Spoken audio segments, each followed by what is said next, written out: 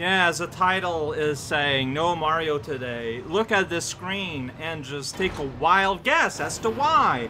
It's a very subtle hint.